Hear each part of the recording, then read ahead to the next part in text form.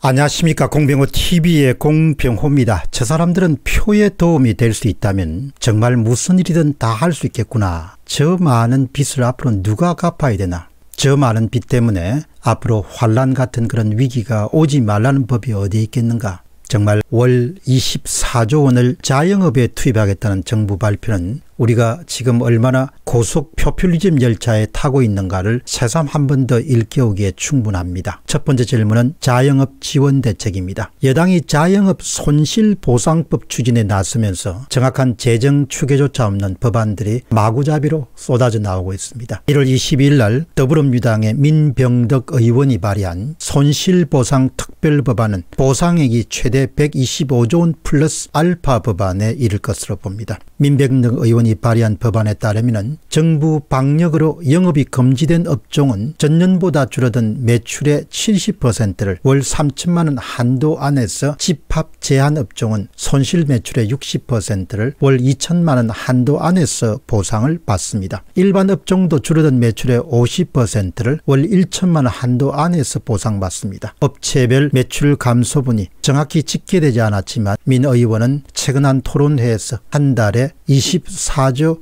7천억 원이 소요될 것으로 추산했습니다. 작년 9월부터 영업 금지가 본격화한 것을 감안하게 되면 최근 5개월 동안 최대 123조 원을 손실 보장해줘야 된다는 그런 의미입니다. 이와 함께 전 국민에게 1인당 50만 원 범위 내에서 코로나 위로금을 지급합니다. 소비 진작 차원이기는 하지만 단순 계산만으로도 2조 6천억 원에 해당합니다. 또한 영업금지 업체의 금융회사 대출 이자와 통신요금, 공과금을 전액 감액해줘야 된다고 규정합니다. 이자나 통신요금을 못 받게 되는 은행이나 통신사는 정부 세액공제로 피해를 일부 보상받습니다. 손실보상 규모가 최대 125조 원을 넘어설 전망입니다. 코로나 사태로 지난해 4차례 편성한 추가 경정 예산 67조 원의 2배에 해당합니다.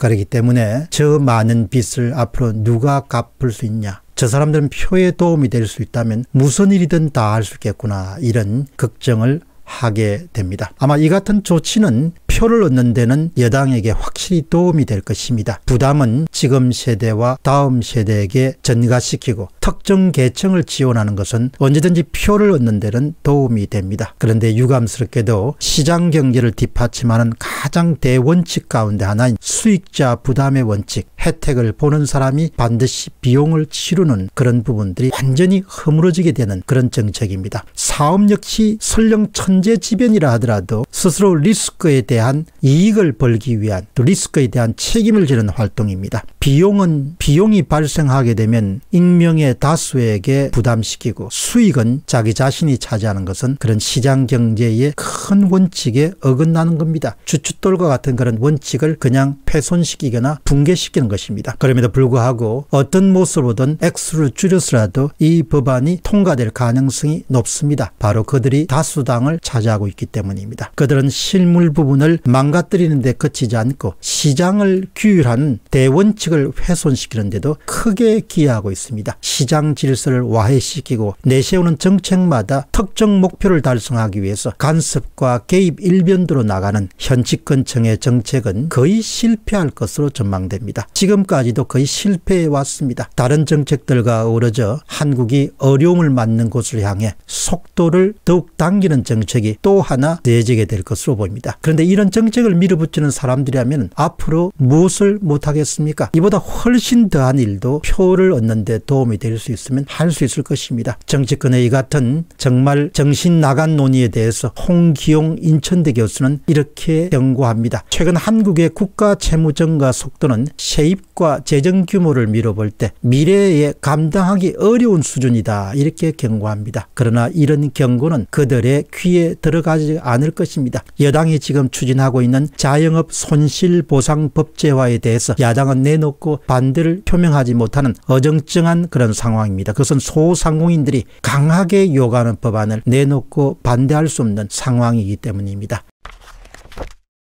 이미 한국은 초고속 포퓰리즘의 열차를 올라타고 달려가는 모습입니다. 그 모습 가운데 하나가 바로 지금 여러분들이 소개드렸던 자영업 손실보상법제화입니다. 집권층의 목표는 오로지 정권의 수명을 더 연장하는 것이고 그 과정에서 무리수 때문에 나라의 근간이 훼손되고 망가지는 것은 그저 치료해야 될 사소한 비용 정도나 통과 의리로 생각할 뿐입니다. 완전히 몸과 마음이 망가지 다음에서도 끊지 못하는 것이 마약입니다. 완전히 몸과 마음이 또 사회가 망가지 다음에서도 끊지 못하는 것이 포퓰리즘입니다. 그렇기 때문에 마약과 포퓰리즘은 동전의 양면처럼 그렇게 비슷합니다. 이 땅에 생각 있는 사람들은 자신의 나라가 자랑스러웠던 나라가 선대가 어렵게 만든 나라가 포퓰리즘으로 완전히 망가지는 국면에 다가서고 있다는 것을 알고 있습니다. 후손들에게 큰 죄를 짓는 일은 물론입니다. 그러나 그것만이 아닙니다. 당대의 사람들 자신도 자신들이 내린 의사결정을 길고 긴 노년기 동안 참혹하게 겪게 될 것으로 보입니다. 선거의 공정성이 보장되지 않는 상태에서 지배 권력이 앞으로 두려워하거나 무수하거나 억제해야 될 것은